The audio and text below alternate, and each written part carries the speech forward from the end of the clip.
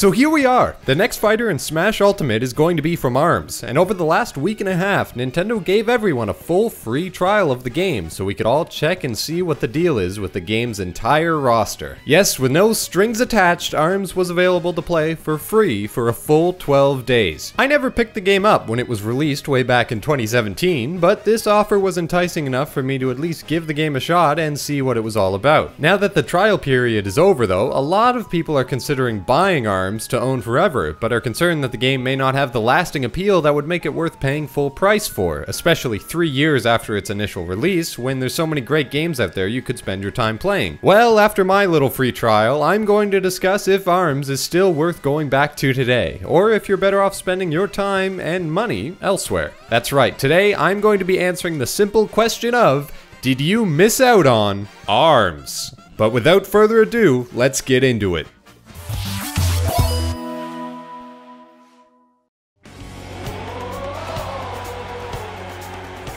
Well, if I can give ARMS credit for one thing, it's the game's sense of style. From the moment you start the game, you can feel the Nintendo bred passion that was injected into this brand new IP. The theme music that plays when you start up the game for the first time couldn't be a more suitable indication of what you're about to experience. Holy crap, this is the biggest sporting event in the entire universe! This is bigger than Space Jam! Oh, I mean, that's what it feels like, at least. The main theme has a ton of remixes throughout the game, too, so it's a good thing they've really hit the mark with this one. Because if it was anything less than spectacular, trust me when I say you'd get pretty tired of it pretty quick. ARMS has much more to offer than just some intense workout jams though, and after opening the character select screen, you'll find every single character was designed to suit a very high standard. Each fighter has an original stylistic theme associated with only them, and easily distinguishable silhouettes, which is a must-have for a fighting game like this.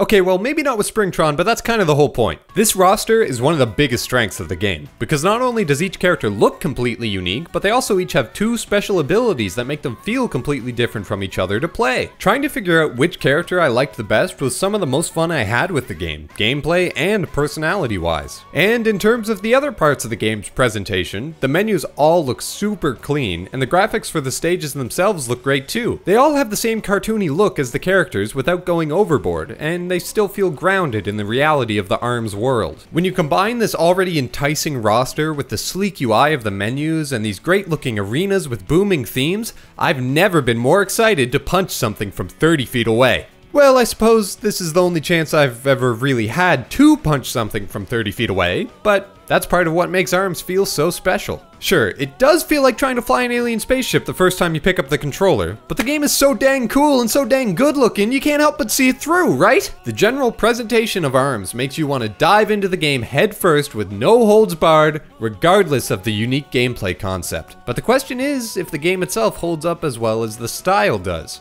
Well, Let's find out. As I'm sure most of you know by now, ARMS is a game where two stretchy-armed competitors duke it out in an attempt to lower each other's health bar to zero, as is customary in most fighting games. These matches take place with an over-the-shoulder, third-person perspective, and will keep your focus locked on your opponent for the entire fight. The arenas are fully three-dimensional and allow you to move to the left and right, as well as forwards and backwards. There's a lot of stages that are built around you using various heights to your advantage as well, leaving a lot of strategy to your positioning and trying to get the higher ground. And for those of you wondering, no, I'm not even going to bother making that reference. Even though you may be used to 2D fighters, ARMS does a great job in making sure you have all the tools you need to ascend this plane of existence and become a master of your environments as an omnidimensional being. As far as the actual fighting goes, you're able to punch with your left and right arm independently of each other, and can even alter the path of your punch mid-flight by tilting the control stick. This may not make sense for a traditional boxing match, but when your opponent is so far away it takes two full seconds for your fist to reach them, you may have some adjusting to do. This is also probably a good time to mention I played mostly with the Pro Controller, as the motion controls seem to be not much more than a gimmicky Wagglefest party mode type experience. Even with the Pro Controller though, the default controls are incredibly strange, and I had to take a few matches to find a control scheme that actually made the game playable for me. Sorry, what's that? Custom controls weren't even in the initial release and were added three months after launch? Oh god, that would have made me quit the game right there. You also have the ability to jump, block, or dash, and holding down the button for any of these commands will charge your punches, giving your next hit a special property based on the type of glove you have equipped, and sometimes even allowing a character-specific special move to activate. There's also a super gauge that fills as you battle known as the rush gauge, and this can be consumed to unleash a flurry of punches for massive damage. The fighting style may seem a bit strange at first, but after a little while it becomes clear that the fundamentals of ARMS are similar to most other fighting games. You want to be able to predict what your opponent will do and pick the best option for countering their strategy. I actually found the matches to be surprisingly tactical. There's classic fighting game ingredients here, like using your grab to beat an opponent who's constantly blocking, but there's also the added strategy of best utilizing the different gloves at your disposal. When you select your character, you also get to choose three different kinds of gloves to bring with you as a loadout, with the opportunity to swap between them in between rounds. There's plenty to pick from, and they all have different levels of weight and elemental attributes that allow you to really personalize your fighting style and try to cover all your bases. You can even independently change the glove on your right and left arms, leading to metric tons of combinations to best deal with the competition. Like I said before, one of the most fun parts of playing this game for me was actually trying all the characters to see what their abilities were, and then testing them with different glove combinations to try to figure out what my favorite way to play was. Sadly though, these gloves do become a bit of a hassle. Each character starts with three different gloves, but has tons more that can be unlocked. By playing the game in pretty much any mode, you earn credits, which you then use to access the glove winning training room. And this was the lowest point of the game for me. Based on the amount of credits you pay, you get a short, medium, or long timer while you punch floating boxes to individually earn gloves for the character the box is wrapped for. This would be fine in theory, but the issue is that you have to unlock each glove for each character even if you already have that glove for someone else. Because this is entirely random, I got frustrated that I wasn't able to play a character I liked with the specific gloves I liked from someone else, unless I got extremely lucky. On top of having to get each glove for each character individually, you can actually get doubles of a glove you already have to power them up making the already hundreds of gloves to collect twice as large for almost no reason. And no, of course, these powered up gloves do not apply across all the characters that have it, only the specific character you unlocked it for will have that glove stats increased. The thought of playing the game long enough to actually unlock all of these things made me feel physically ill. And the main reason for that is there's really just not a lot to do in ARMS.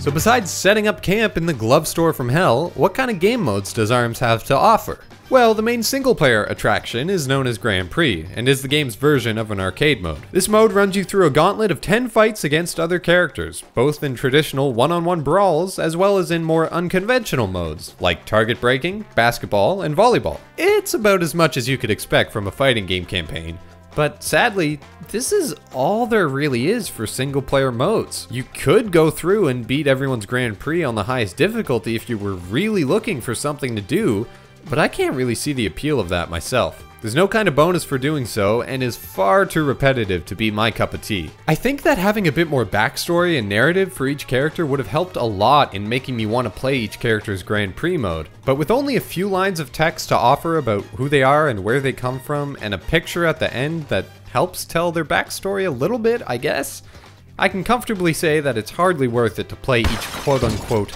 story all the way through. Other than Grand Prix though, there's an online mode that lets you play in a variety of game types against a lobby of up to 7 other players. And I actually really like the setup for these lobbies. Instead of each lobby playing a single match in the middle and forcing everyone else to wait their turn, the game will host multiple matches at the same time. You're constantly playing against different players and different game types, and there's close to zero downtime between rounds because there will always be someone who finishes their match around the same time as you. It keeps the wait time down and the variety up, so I can see this being a really good good mode to kill time for hours on end. The downside to that is if you're going to spend that much time on this game, you're probably looking for a more competitive environment, and that is nowhere to be found in these online lobbies. There's also an offline versus mode that allows you to free play against computer players in any of these same game types that you can find in online lobbies, but I can only see this mode really getting use if you're not up to date on your Nintendo Switch Online subscription. Fighting games are always better against human players, and considering Grand Prix is all there really is to do in single player,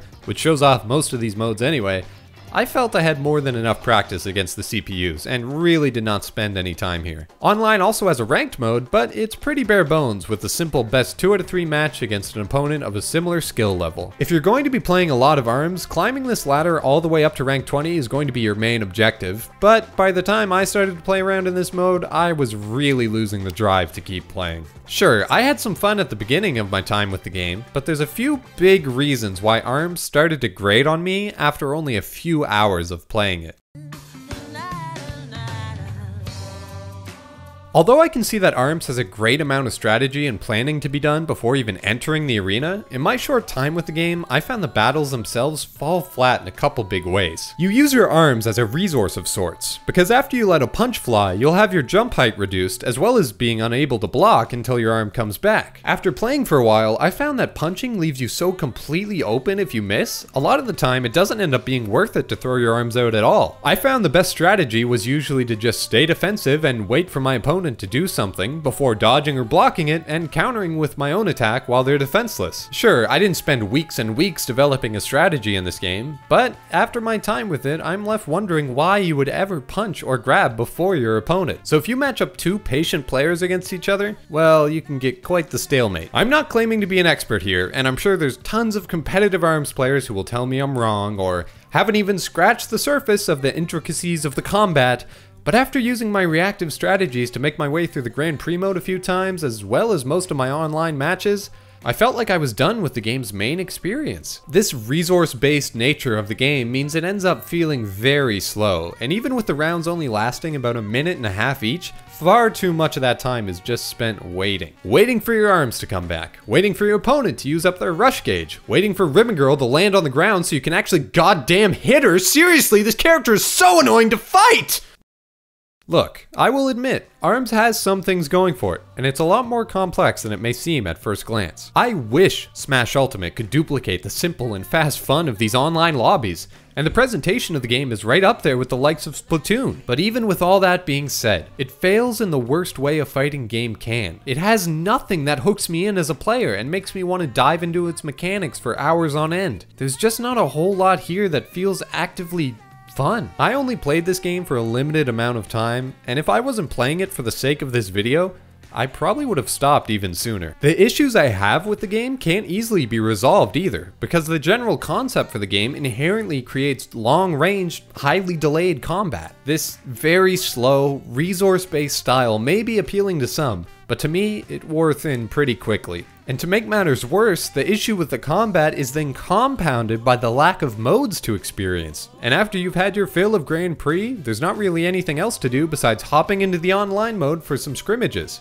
Sure, you could try to earn the arbitrary achievements to flaunt your badges, but when the game itself isn't that fun to play, it's hard to feel bothered to do so. At the end of the day, if you're considering picking up ARMS after testing it out during its free trial, I can't properly recommend this game as being worth its price tag. I played the game for free, and I still didn't enjoy it for more than a handful of hours. So I know that if I had paid full retail price for it, I would have felt quite cheated. In my mind, there's plenty of other games on the Switch at even one fourth the price that could entertain you for 10 times as long. You can hang up your gloves for good and rest easy, because Stabilize says you did not miss out on ARMS. And that, my friends, is my guarantee. There's a chance that a sequel could create a bigger and better showing of what ARMS has to offer, but until then, I wouldn't bother going back to this one. Thanks for watching all the way to the end. I couldn't cover everything, but remember, this is just my opinion, and there's nothing wrong with having a civilized conversation about what we like or don't like